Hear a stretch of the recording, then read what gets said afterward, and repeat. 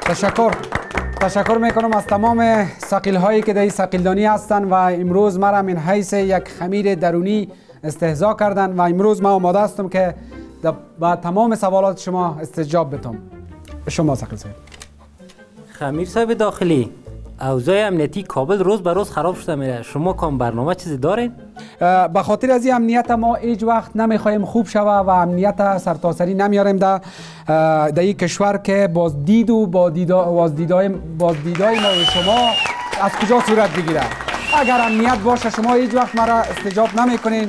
امی خودت که گپ می‌زنی مردم روز به روز کشته شده میره. ای چی رقم حال است شما؟ ای امنیت چی رقم می‌گیرین مردم از بین رفته میره در خانه خود مردم آرام نیست در وظیفه خود آرام نیست. ببینین ما امنیت سرتاسری آوردیم. سکل صاحب اگر شما متوجه باشین امروز یک موتر داخل شهر میشه و از داخل شهر راکیتا را فایر می‌کنه. من مطمئن هستم که این موتر در هیچ ولسوالی در هیچ ولایتی کار کردن نمی‌تونه در داخل ولایت کابل کار می‌کنه. خودش کلانترین امنیت است. و حالا نوبت می‌رسه به خمیر صاحب جالیه جناب اندیوال صاحب. بفرمایید. اونا برنامه خود میگن.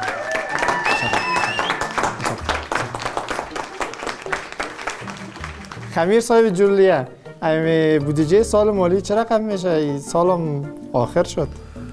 بودجه سال مالی یک بودجه بسیار خوب است.